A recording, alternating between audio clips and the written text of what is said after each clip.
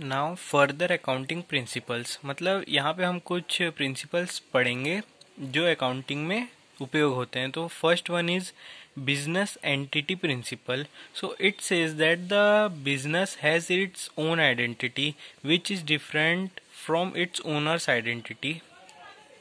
इसका मतलब क्या है? So it means that books of accounts of business and books of accounts of owner are different.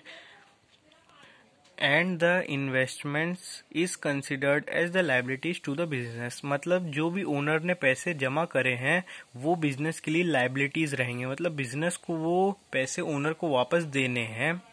Second one is money measurement principle. So this principle says that only those transactions are recorded in accounts which uh, are applicable or being recorded in terms of money. मतलब हम इसमें केवल money के जो transaction होते हैं उन्हीं को रिकॉर्ड करते हैं third one is accounting principle of period So this principle says that the entire life of business is divided into small intervals to find out the position of business. So 12 months are usually adopted for this purpose. So the time starts from 1st april uh, and ends on 31st march. So this is accounting principle of p so, fourth is full disclosure principle. So, it says that all the significant transactions should be recorded. Means सारे जितने भी transaction हो रहे हैं no matter money के हो रहे कि नहीं हो रहे, सभी ट्रांजेक्शन को रिकॉर्ड करना चाहिए.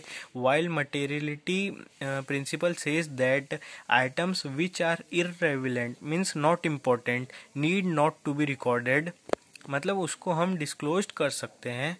और यहाँ पे एक नोट करने की चीज़ है कि materiality is the opposite of principle of full disclosure now historical cost principle so according to this principle and essay should be recorded in books of accounts at the price at which it was acquired मतलब इसका क्या है कि ये कहता है कि जब भी हमने कुछ खरीदी है तो उसको उसी दाम पे रिकॉर्ड करना चाहिए जितने भाव में हमें वो मिली है। उस दाम पे नहीं कि उसका एक्चुअल नाव मार्केट प्राइस क्या है।